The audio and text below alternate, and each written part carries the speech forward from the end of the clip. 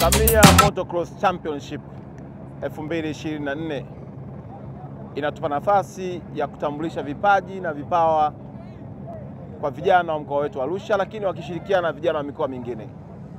Kwetu sisi ni fahari kubwa sana kuwaona Watanzania wameitikia mwito na kutambua kazi si tu ya vijana wa Tanzania kupitia mkoa wetu Arusha, bali inayofanywa na dunia nzima kwa michezo hii ya uendeshaji wa pikipiki.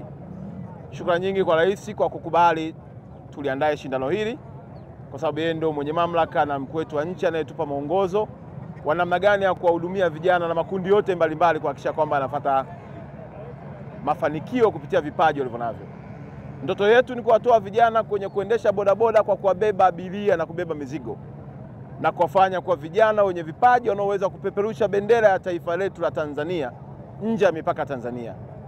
Nawahakikishia mchezo huu mwaka huu tutapeleka vijana Moroko watakwenda kushindana na kupeperusha bendera ya taifa letu.